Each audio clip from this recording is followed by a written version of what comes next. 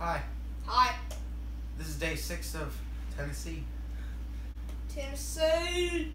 What did we do today? We went go karting. We gotta say things in order. Oh. And we went to uh, a river again, and we built more rock monuments. This time we went to the same one as it was the same one as yesterday, actually. Thing is, though, little rock monuments were knocked down, so we built new ones. Pictures.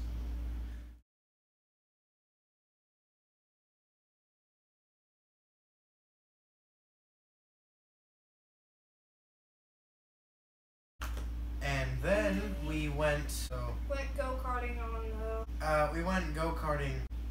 I have some videos, a little bit of video from it. Not really too good, though.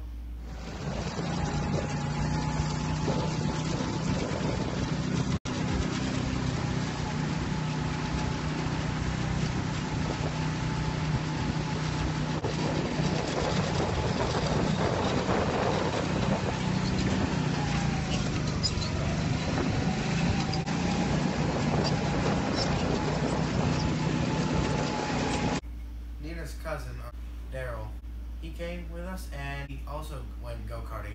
I lost. The first time I would have won, but Kylan hit me into the wall. My my motor shut off for a second. Cheater. The second time I lost because Kylan had a faster car. Oh.